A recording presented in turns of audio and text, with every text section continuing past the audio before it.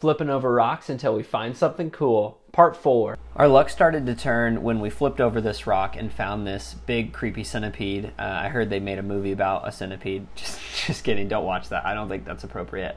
We found a, a fence line lizard here. He darted off, lifting up this one carefully because we saw this collared lizard run underneath there. He made a break for it. This guy was playing whack a mole underneath the rock, darting back and forth between me and Daniel's hand this guy had already knew that we were there somehow. Um, I mean, even though they're coiled up, it's like they're ready to pounce like a puma and just sprint for the freaking trees. I mean, look how fast that thing is. It's not even fair.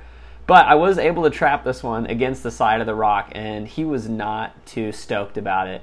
I'm pretty sure he tried to bite me like three or four times. I finally got him maneuvered, and look, he's trying to freaking bite the camera.